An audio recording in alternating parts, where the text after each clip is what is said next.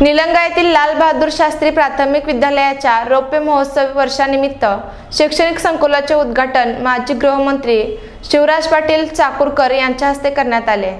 निलंगा येथील लाल बहादूर शास्त्री प्राथमिक विद्यालय तसेच कैलासवाचे विठ्ठलराव धुमाळ माध्यमिक व कनिष्ठ महाविद्यालय या संस्थेच्या रौप्य महोत्सवी वर्षानिमित्त शैक्षणिक संकुलाचे उद्घाटन सोमवार दिनांक बारा फेब्रुवारी दोन हजार अठरा रोजी प्रमुख मान्यवरांच्या उपस्थितीत संपन्न झाले. या शैक्षणिक संकुलाच्या सोहळ्याचे उद्घाटन माजी गृहमंत्री शिवराज पाटील चाकूरकर यांच्या हस्ते करण्यात आले.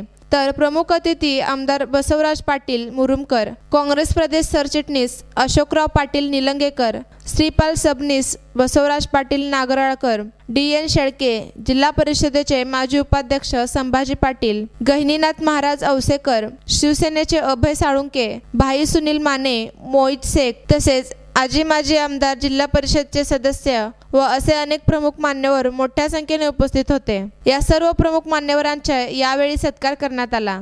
तर या संस्थेचे अध्यक्ष पंडितराव धुमाळ यांचे सुद्धा सत्कार शिवराज पाटील चाकूरकर घनीनाथ महाराज औसेकर यांच्या हस्ते करण्यात आला. या कार्यक्रमाला सर्व ज्येष्ठ पत्रकार बांधव संस्थेचे सदस्य सर्व शिक्षक महिला व पुरुष मोठ्या संख्येने उपस्थित होते.